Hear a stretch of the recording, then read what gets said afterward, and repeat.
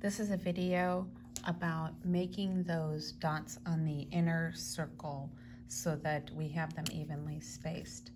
Um, this is an eyeballing technique. In other words, I'm just using, I'm not using tools. I'm using my eyes, I'm taking my time, and I am thinking very carefully while I do this. So I'm gonna find the very tip top.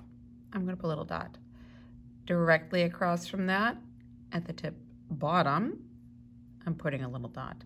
We could th call these 12 and 6 o'clock because on a clock, that's what those would be. We'd see those numbers there. I'm going to put one at 3 o'clock, at 9 o'clock. Now it gets a little easier to find where I want to put my other dots.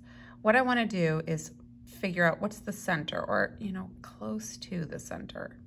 Here and across from that, here.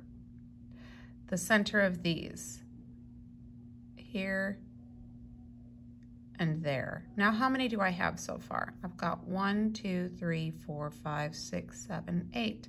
I'd like more so I can have a more intricate pattern. So I'm going to continue to make marks in the middle of these. And again, I'm just eyeballing this. They may not be exact.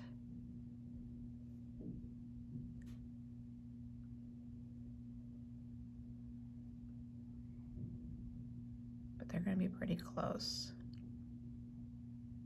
Okay, now I have 16 and that's plenty to do the assignment.